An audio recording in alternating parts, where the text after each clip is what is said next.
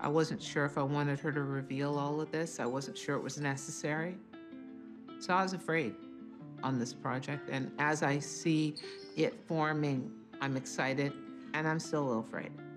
right now, there's a little bit of trepidation over the, some of the ambition of the project.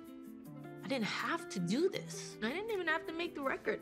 It's not like anybody was clamoring for the next J-Lo record. you know what I mean? And I know that there's some people around me who are like, this is stupid. Why is she doing this? She doesn't need to do this. And they're right. I don't need to do any of it. I don't. But I want to.